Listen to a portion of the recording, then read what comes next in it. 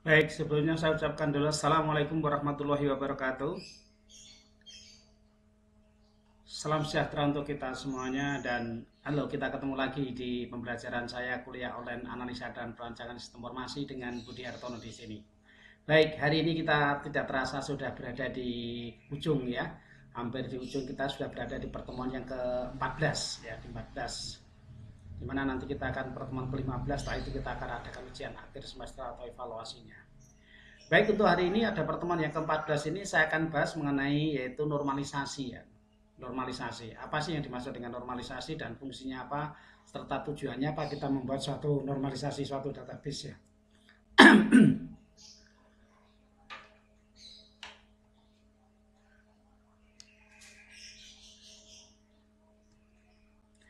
Tapi sebelum lebih lanjut saya bahas mengenai tentang normalisasi ini ada baiknya dulu akan saya sampaikan mengenai tujuan pembelajarannya yang kita bisa petik untuk hari ini. Apa itu yang dimaksud dengan normalisasi tadi? Ya. Harapannya setelah menyelesaikan perkuliahan pada bab normalisasi ini diharapkan yang pertama yaitu mahasiswa mengerti dan dapat memahami konsep normalisasi. Apa sih yang dimaksud dengan konsep normalisasi dalam suatu database itu? Itu yang perlu kita pahami yang pertama itu. Yang kedua adalah mahasiswa mampu memahami tahapan dalam proses normalisasi. Bagaimana tahapan-tahapan dalam pembuatan proses normalisasi ini dari tahap pertama, kedua, ketiga sampai tahap yang terakhir sehingga kita bisa dapatkan tabel yang betul-betul normal seperti itu atau sesuai sesuai dengan aturan yang ada seperti itu. Yang ketiga, mahasiswa mampu menerapkan dan mengimplementasikan tahapan normalisasi pada praktek pembuatan tabel-tabel normalisasi. Setelah Anda memahami konsepnya, setelah Anda memahami tahapan-tahapan dalam prosesnya, selanjutnya Anda mampu mengimplementasikan implementasikan dalam pembuatan tabel-tabel normalisasi ya, baik untuk pembuatan skala kecil maupun skala besar, baik untuk skripsi maupun pembuatan proyek pada akhirnya ketika nanti Anda sudah lulus. Adapun materi yang hendak saya sampaikan pada hari ini adalah mengerti mengenai yang pertama adalah pengertian normalisasi. Apa sih yang dimaksud dengan normalisasi? Tujuan kita melakukan normalisasi, proses normalisasinya ada tahapan normalisasi dari tahap pertama sampai dengan tahap selanjutnya yaitu ada redundans dan anomali. Apa yang dimaksud dengan redundans dan anomali itu ada tahap pertama di dalam pembuatan normalisasi ya kita kenal dengan nama 1NF ya 2NF, 3NF, 3NF dan seterusnya nantinya. Studi kasus ya nanti kita akan lihat studi kasus daripada pembuatan normalisasi ini dan yang terakhir adalah penutup. Baik, kita mulai dari slide pertama dulu yaitu yang berkaitan dengan uh, perancangan basis data atau pengertian normalisasinya nanti. Perancangan basis data. Tujuan dilakukan perancangan suatu basis data yaitu supaya kita bisa memiliki basis data yang kompak dan efisien dalam penggunaan ruang penyimpanan, cepat dalam pengaksesan dan mudah dalam pemanipulasian atau tambah, ubah, hapus dan sebagainya. Jadi tujuan perancangan suatu database itu menyiapkan suatu database yang betul-betul bisa diakses dengan cepat. Ruang penyimpanan juga cukup bagus seperti itu. Harapannya seperti itu.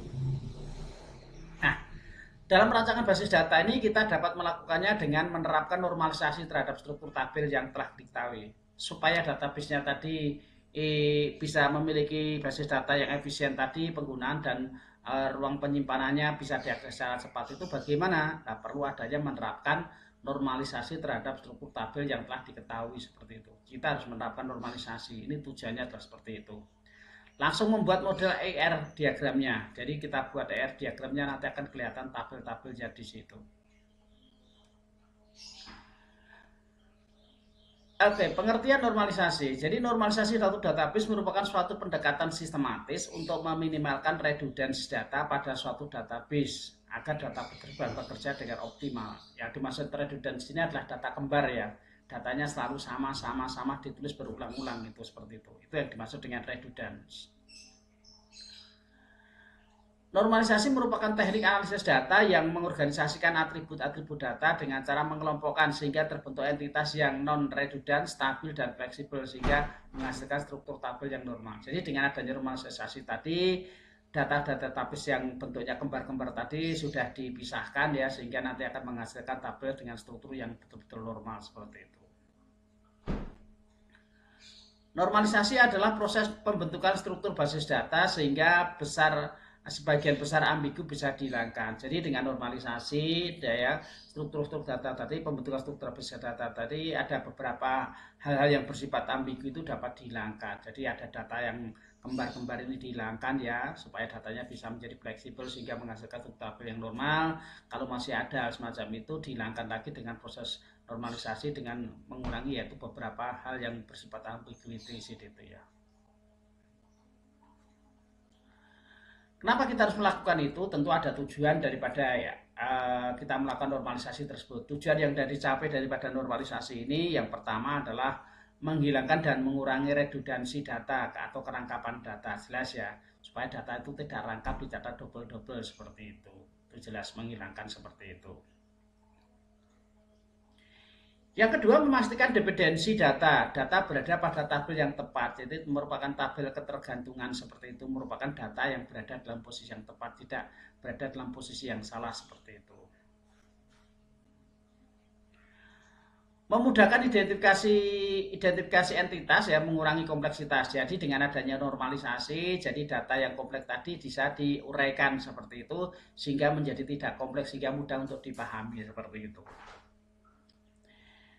Berikutnya adalah mencegah terjadinya anomali atau mempermudah pemodifikasian data. Jadi terjadinya keanehan. Anomali itu artinya mencegah terjadinya anomali atau keanehan data. Ketika data itu kita modifikasi, baik itu data kita itu masukkan, kita hapus, kita uh, sisipkan seperti itu ya. Kita insert seperti itu ya, kita update seperti itu atau kita hapus seperti itu.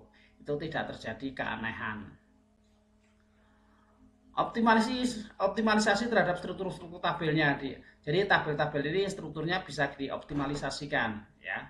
Meningkatkan kecepatan. Jadi kalau data-data yang tidak perlu dimasukkan di situ justru akan meningkatkan kecepatan daripada suatu data atau kecepatan untuk akses datanya meningkatkan kecepatan akses tabelnya tadi ya di depan tadi sudah meningkatkan kecepatan aksesnya lebih efisien dalam penggunaan media penyimpanan. Jelas ya, dengan adanya semacam ini data-data yang kembar dihilangkan, data-data yang tidak pas dihilangkan sehingga akan menyebabkan yaitu apa tadi e, lebih penggunaan media penyimpanan jadi tidak double seperti tidak rangkap sehingga akan me, ya, lebih efisien seperti itu. Kalau lebih efisien justru otomatis nanti akan meningkatkan kecepatan. Ini hubungannya adalah ini ya, dengan penyimpanan data otomatis akan menjadi kecepatannya menjadi lebih meningkat seperti itu.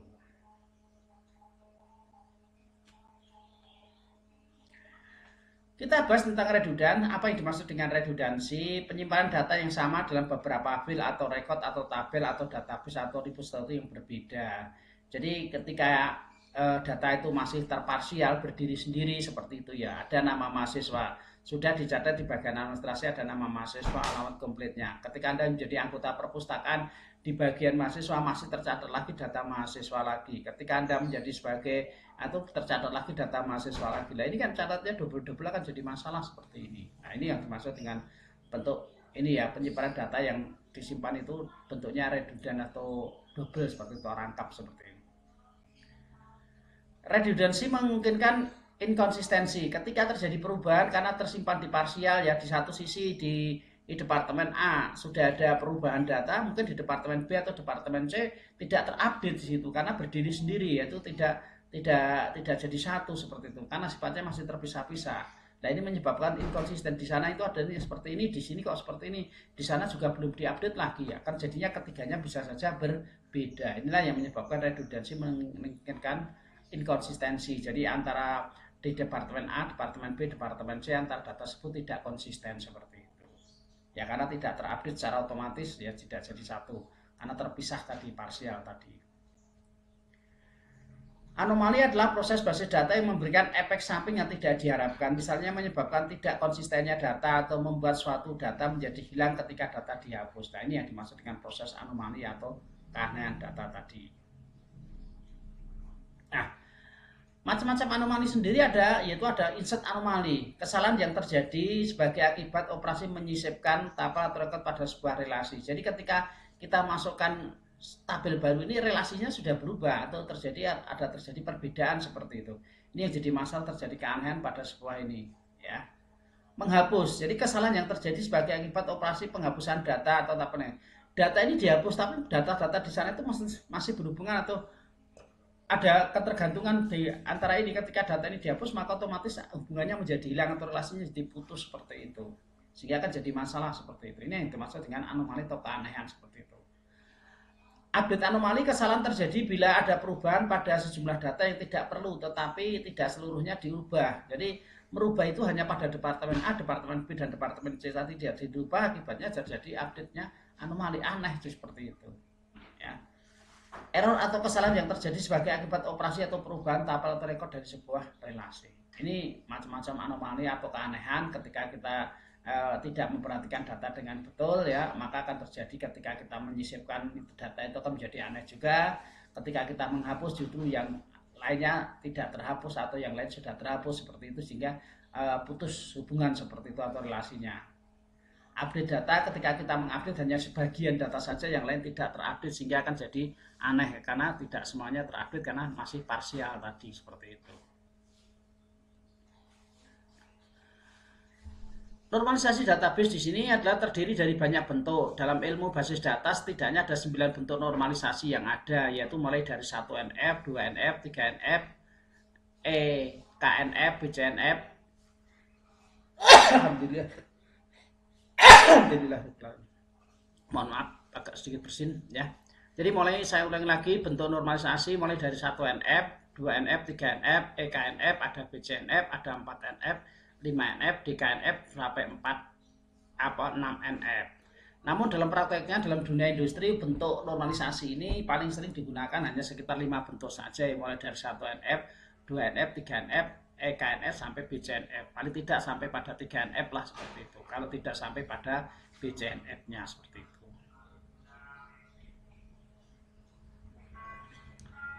Proses normalisasi Data diuraikan dalam bentuk tabel, selanjutnya dianalisis berdasarkan persyaratan tertentu ke beberapa tingkat.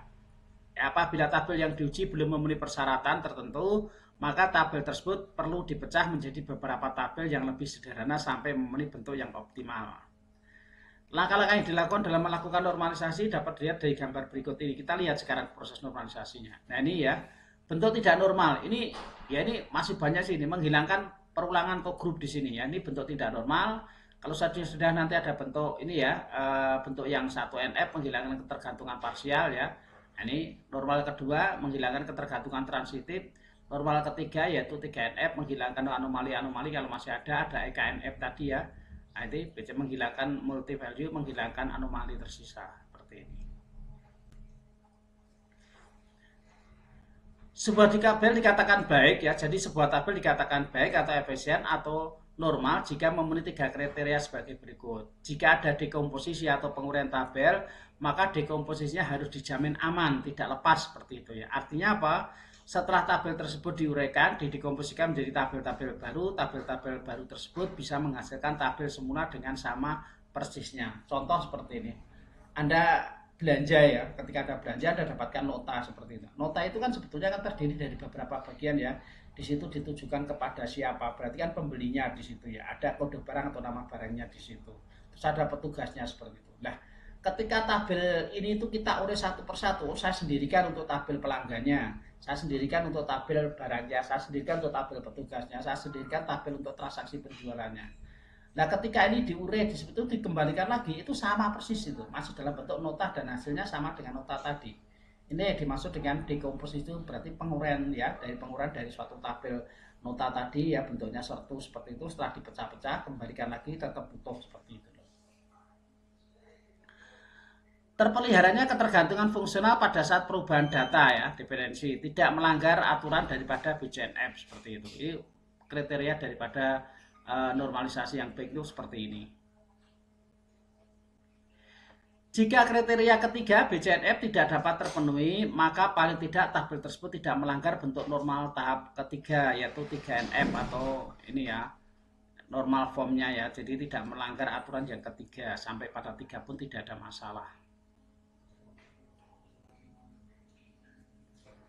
Kita mulai dari normal form atau tidak normal. Data yang direkam dan dimasukkan secara mentah dalam suatu tabel pada bentuk ini sangat mungkin terjadi inkonsistensi atau anomali bentuk-bentuk ini memiliki ciri-ciri sebagai tidak ada keharusan mengikuti suatu format tertentu. Jadi namanya bentuk tidak normal itu ya sembarang, bebas gitu, tidak ada aturannya seperti itu.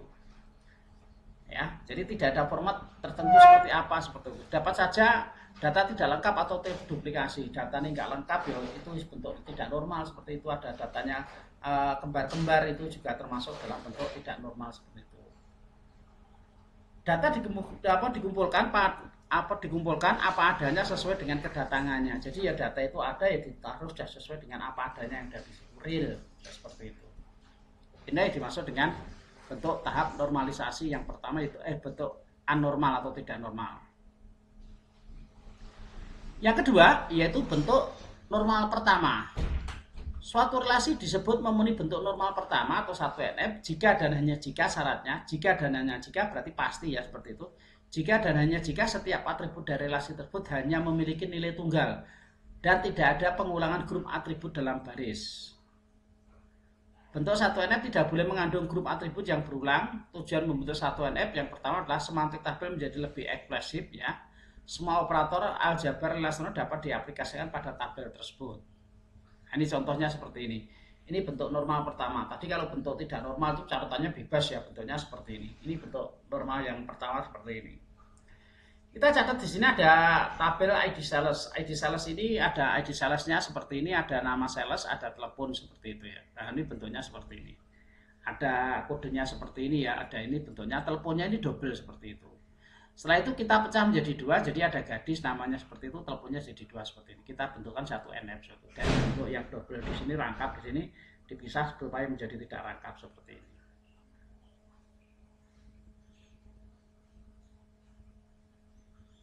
Nah, bentuk normal yang pertama, jadi sini ada keterangan, ada tabel buku ya, ada tabel buku, tahun penerbit, ada ID penerbit, ada nama pengarang, ID pengarang, nama pengarang dan seterusnya seperti itu itu ya itu bentuknya. Terus setelah itu dipecah menjadi beberapa ISBN tahun terbit ID pengarang nama pengarang dan seterusnya. Ini bentuknya adalah seperti ini. Ya bentuk waduh. Nah, ini bentuk tidak normalnya ya. Anormal formnya seperti itu setelah dinormalkan menjadi seperti ini. Jadi di sini ada ISBN tahun terbit ID pengarang nama pengarang ID pengarang terus nama pengarang yang kedua. Di sini kalau dirubah menjadi satu-satu oh bukunya adalah ini ya tahun terbitnya sekian, ID pengarangnya ini, ID pengarang yang kedua ini. Jadi nama pengarangnya di sini satu buku ada dua pengarang. Ini pengarangnya tunggal. Kalau seperti ini ada satu buku ada dua pengarang ya. Satu buku dua pengarang ini ada dua 01 tahun terbitnya 201 di sini ada ID pengarangnya ini. Nah, ini ya ISB-nya sama kan seperti itu. Yang ada kembar ini ya yang satu satu ini juga satu. Berarti ini ada dua pengarang yang ini tiga tiga ini juga ada pengarang empat empat juga dua pengarang seperti itu. Normal yang kedua satu relasi disebut memenuhi bentuk normal kedua ya. Jika dan hanya jika memenuhi satu NF jadi normal yang kedua itu syaratnya apa? Kalau sudah memenuhi satu NF kalau sudah kalau belum memenuhi satu NF ya dua NF nya tidak berlangsung atau tidak berlaku seperti itu setiap atribut yang bukan kunci utama bergantung secara fungsional terhadap semua atribut kunci dan bukan sebagai atribut kunci. Ya, nih. Terus berikutnya sudah ditentukan kunci lapangan di mana kunci lapangan harus unik dan dapat diwakili atribut lain yang menjadi anggotanya. Untuk normalisasi bentuk kedua ini maka tabel 1NF difungsikan menjadi beberapa tabel yang masing-masing memenuhi 2NF. Bila terdapat ketergantungan parsial maka dieliminasi ya, dieliminasi itu digugurkan seperti itu, dibuang. Tujuan membentuk 2NF adalah semantik tabel 2NF menjadi lebih ekspresif ya, mengurangi update anomali yang masih mungkin terjadi pada satu NF. Ini bentuk 2NF-nya adalah seperti ini. Nah, bentuknya seperti ini. Tidak saya gambarkan dalam bentuk tabel, jadi contoh ini diketahui tabel R. R ini ada A, B, C, D, dan E, di mana A dan B ini adalah kuncinya. AB kunci utama atau primary key dengan tabel ketergantungan fungsi dependensinya adalah A, B ini jadi C, D, dan E ini tergantung daripada A dan B. Maka tabelnya memenuhi dua n sebab apa? AB ini adalah eh, C, D, dan E ini bergantung sama AB. C bergantung sama B, A dan B, D bergantung dengan A dan B, dan E bergantung sama AB. Jadi semua atribut bukan kunci utama bergantung penuh pada A dan B-nya seperti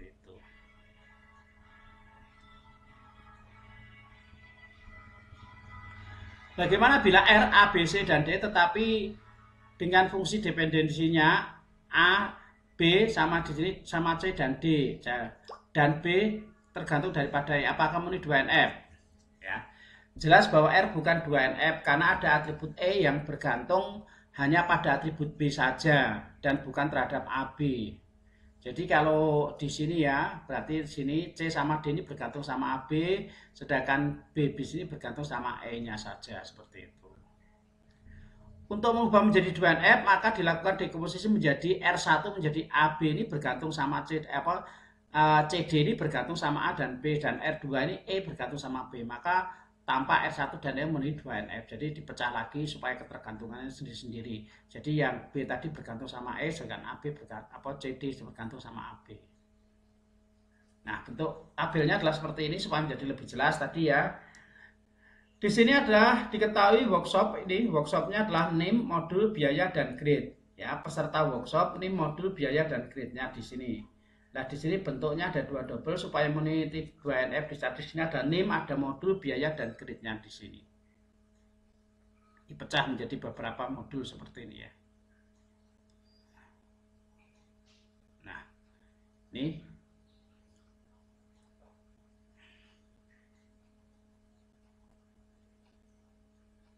ini ya. Jadi ini NIM dan modul ini biaya dan kredit ini bergantung pada modul dan NIM. Ya, begitu ya. Jadi biaya dan kredit ini bergantung daripada modul dan NIM. Maka supaya ini dipecah, maka NIM ini bergantung dan data ini modul nanti bergantung daripada ini. Seperti ini. Jadi waktu satu NIM, modul dan kredit. Modul NIM dan kredit. Sekali modul bergantung biaya ini bergantung modul biaya ini bergantung daripada modulnya seperti itu. Nah ini ya, jadi NIM, modul, biaya, dan grade tadi ini satunya seperti itu supaya ini memenuhi 2NF maka dipecah menjadi dua karena semua tergantung daripada NIM dan modulnya seperti itu. NIM modul dan grade-nya dipisah di sini jadi modul itu berdiri sendiri jadi modulnya uh, penentuan seperti ini. Kalau seperti ini kan biaya dan grade ini bergantung penuh sama NIM dan modul tetapi biaya sendiri bergantung daripada modul seperti itu. Nah ini jadi memenuhi 2NF seperti ini. Nah, sekarang yang ketiga, yang ketiga, suatu relasi disebut memenuhi bentuk normal ketiga jika dan hanya jika memenuhi 2NF. Jadi urutan yang ketiga harus memenuhi 2NF dulu. Jadi setiap atribut yang bukan kunci tidak tergantung secara fungsional terhadap atribut bukan kunci. Ya, yang lain dalam relasi tersebut. Atau definisi lainnya adalah suatu relasi disebut memenuhi bentuk normal ketiga atau 3NF jika dan hanya jika setiap fungsional dependensi non retrieval X A bergantung sama X di mana X dan A atribut atau komposisinya memenuhi salah satu kondisi berarti A adalah X adalah super key dan A merupakan anggota atau kandidat daripada ini.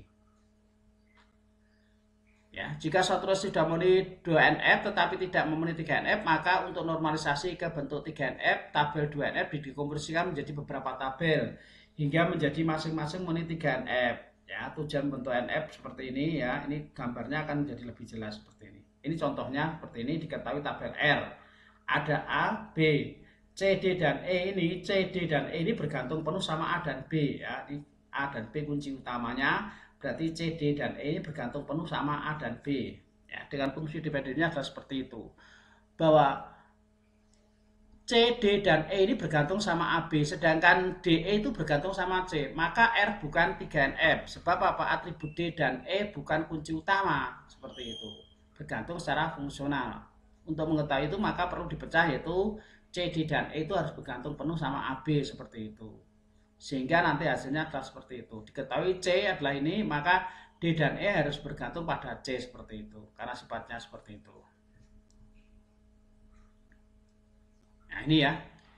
Ini C, D, dan E ini bergantung sama AB ya. Sedangkan ini ya C ini bergantung sama AB sedangkan DE ini bergantung sama C supaya memenuhi pertigaan F ini maka dibentuklah di sini R1 ABC ya ini R1-nya di sini sudah ada fungsi D-nya C bergantung daripada AB. Sedangkan E dan D ini bergantung sama C, sedangkan fungsi D-nya ini E dan D bergantung sama C seperti itu. Jadi ini tabel satunya tadi dipecah menjadi dua, ya tabel anormalnya atau tabel pertamanya dipecah menjadi dua, jadi sudah memenuhi dua NF yaitu AB dan C dan DE ini. Nah, contoh misal diketahui struktur informasi dari suatu dokumen supplier adalah seperti ini ya. Bentuknya seperti ini, nanti dipecah lagi menjadi ini ya. TPS-nya di sini dibentuknya jadi 3NF, bentuknya adalah seperti ini. Kita lihat. Nah, ini. Jadi ada dua ya. Jadi status dan city ini bergantung penuh sama S sedangkan ini KTY ini bergantung sama S dan sama P. Nah ini. Jadinya dibentuk menjadi tiga buah tabel bentuknya adalah seperti ini. Jadi sudah memenuhi satu NF ada dua NF ada tiga NF nya di sini Norma yang ketiga diberikan skema relasi di situ adalah ABCD sampai ABCD EF G ada 10 dengan ketergantungan fungsional bahwa B, C dan D ini bergantung sama A. Jadi di sini D, C dan A ini kuncinya adalah di A di sini. Sedangkan D ini kuncinya jadi C, sedangkan F itu kuncinya di E, sedangkan apa itu tadi G ini bergantung sama A dan E, sedangkan J K bergantung sama E.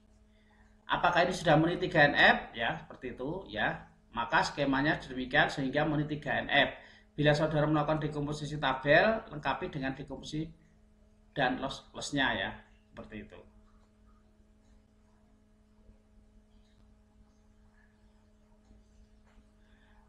Yang ke ini umumnya setelah tiga adalah bukan EKNF tetapi kebanyakan langsung menuju ke BCNF. Saturasi dipenuhi disebut memenuhi BCNF jika dari jika setiap berapa apa determinan yang ada pada relasi tersebut adalah kandidat G. Ya, definisinya adalah seperti ini. Jadi ada E ini adalah super kuncinya dan ini adalah bentuk normalisasi ke dalam bentuk BCNF maka tabel 3 ini didekomposisikan menjadi beberapa tabel masing-masing sudah memenuhi BCNF. Nah ini ya, ada bentuknya adalah bentuk normal yang ketiganya. Di sini ada studi sudah memiliki ini ya. Jadi usia dan nama ini bergantung pada SID-nya sedangkan year dan title ini bergantung pada bidangnya sedangkan uh, date saat ini bergantung sama ini ID pinjamnya jadi yang namanya date ini tergantung daripada bidang dan SID ini tergantung daripada tanggal pinjamnya seperti itu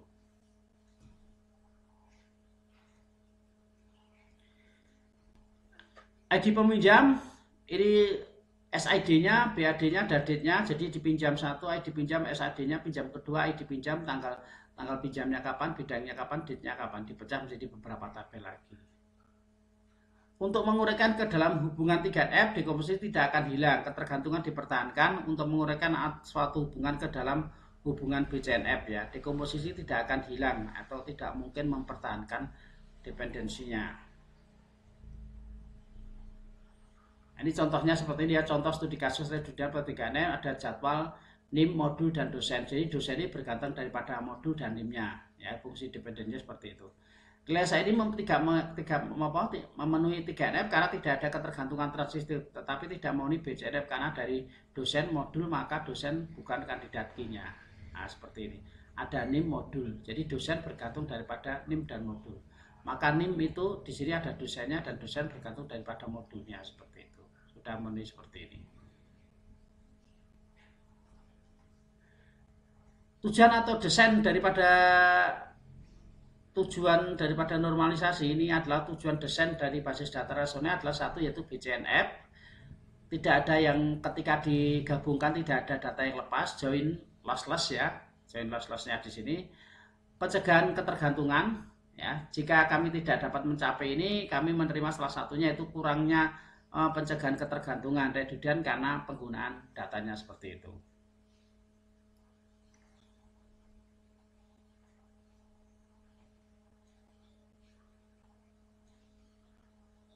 ya ini terakhir tadi adalah ini. Berikutnya ada ini. Contoh kasusnya tadi ada NIM dan modul tadi. Sudah memenuhi bentuk 3NF belum kalau belum kita tuliskan seperti itu. Kalau sudah berarti sudah kita catatkan di sini. Sudah terpenuhi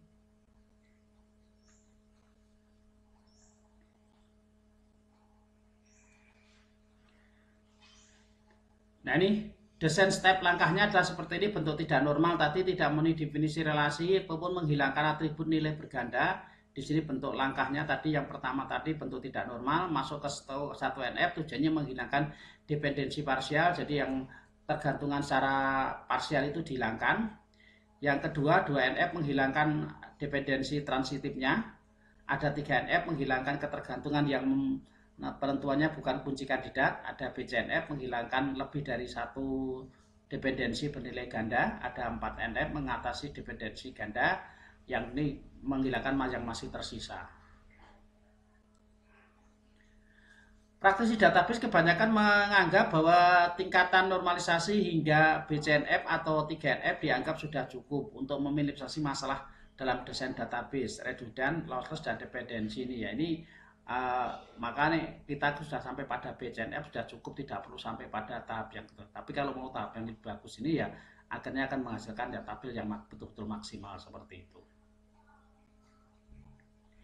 Ini contoh bentuk tidak normalnya adalah seperti ini ya. Jadi sesuatu yang betul normal, data hasil analisis dari dokumen dasar supaya menjadi jelas tadi ada nomor bon, ada nama barang, harga, jumlahnya, biayanya berapa, subtotalnya, ada diskonnya, ada total bayarnya ya. Ada totalnya sekian, bayarnya sekian, ada kembalinya, ada kasirnya, tanggal dan waktunya. Ini bentuk tidak normalnya adalah seperti ini. Berdasarkan data normalisasi form di atas dapat dilihat bahwa terdapat isian kosong sehingga apabila pointer membaca rekod yang nomor 2 atau 3 ya kosong tadi ya ini kosong di sini ya 2 3 di sini ya 2 dan 3 ini 4 6 7 9 dan 10 maka data barang tersebut tidak diketahui nomor bonya ya itu karena kosong kan nomor bonya tidak ada yang nomor 2 3 4 terus berapa itu? 6 7 6 7 8 9 10 nah, itu tidak ada nomornya seperti itu. Itu ya. Nama kasir, tanggal, dan waktu pembelian hal ini disebabkan karena komputer membaca data rekodnya saja. Nama dan harga barang hanya sama selalu ditulis ulang untuk nomor bond yang berbeda. Inilah yang dinamakan redundant, data yang kembar seperti itu ya. Jadi ditulis berulang-ulang seperti itu. Maka harus disederhanakan dalam bentuk normal yang pertama menjadi satu NF. Nah, data anormal dapat diselesaikan dalam bentuk normal ke satu yaitu bentuknya di sini kita tuliskan tadi nomor bonya tadi kita isi di 001 karena itu sama 002 02 002 003 tadi yang kosong-kosong itu kita isi supaya menjadi lebih jelas seperti itu. Ya seperti itu ya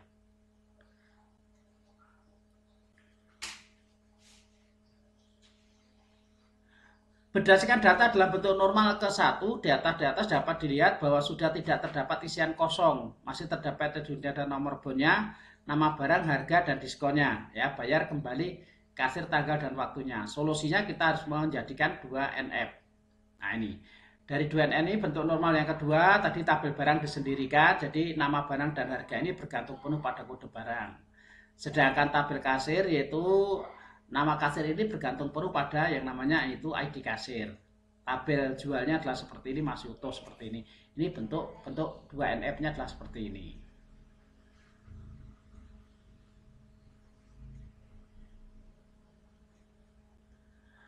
tabel barang sudah benar ketika ada redundansi sudah tidak ada redundansi lagi karena sudah dicatat sendiri begitu juga dengan tabel kasir sudah tidak eh, double lagi dicatat di situ satu-satu tabel jual belum benar. Masih redundant solusinya buat menjadi tiga tabel ini masih ada data yang kembar nih ya. Nah, ini. Kita cek kembali. Nah ini. Bentuk normal yang ketiga ini tetap ya kita pecah lagi menjadi tabel barang tadi. Ya sudah tabel barang ada tabel kasir. Nah supaya tidak menjadi kembar maka di situ ada tabel jual. Tabel jualnya terdiri dari nomor bon ya nomor bonnya di situ sudah ada. Total diskon bayar kembali edi kasir tanggal dan waktu. Sehingga di sini eh, sudah tidak ada lagi yang kembar pada tabel jual.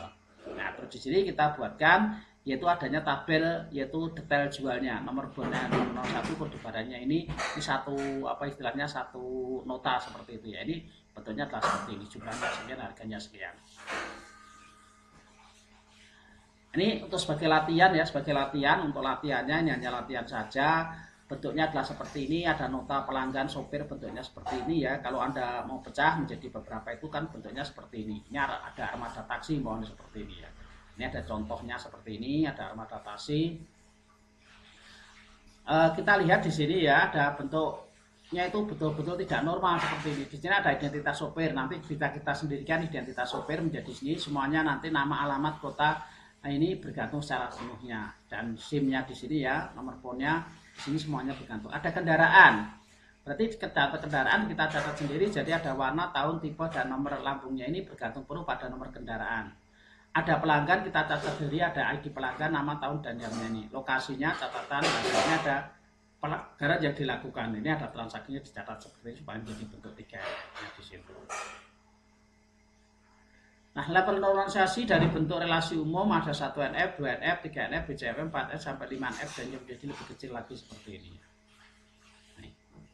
Oke, hanya ini saja yang bisa saya sampaikan untuk pembelajaran tentang normalisasi untuk hari ini. Jika ada yang mau ditanyakan, nanti silakan Anda kirimkan pada uh, kolom yang sudah tersedia pada kolom diskusi karena ini pembelajaran sifatnya mandiri nanti ya kita bisa buka bersama-sama apa yang Anda sampaikan akan kita bahas bersama-sama di lain waktu dan lain kesempatan Oke, apa yang bisa kita peroleh untuk pembelajaran ini? Yang pertama adalah tujuan daripada normalisasi adalah untuk menghasilkan tabel yang normal atau baik seperti itu. Normalisasi data berfungsi untuk meminimalisasi redundansi data dan mencegah anomali. Normalisasi dimulai dari tahap tidak normal, ya, bentuk normal pertama, bentuk normal kedua, dan seterusnya sampai didapatkan tabel yang betul-betul normal seperti itu. Redundant penyimpanan data yang sama dalam beberapa file itu terjadi kerangkapan data atau record atau tabel atau database atau repository yang berbeda. Tujuan untuk desain basis data nasional adalah untuk BCNF, untuk join losslessnya, untuk pencegahan ketergantungan. Oke, terima kasih. Hanya ini yang bisa saya sampaikan untuk pembelajaran di hari ini. Terima kasih untuk atensi Anda di channel ini. Uh, kita ketemu lagi minggu depan. Terima kasih. Assalamualaikum warahmatullahi wabarakatuh.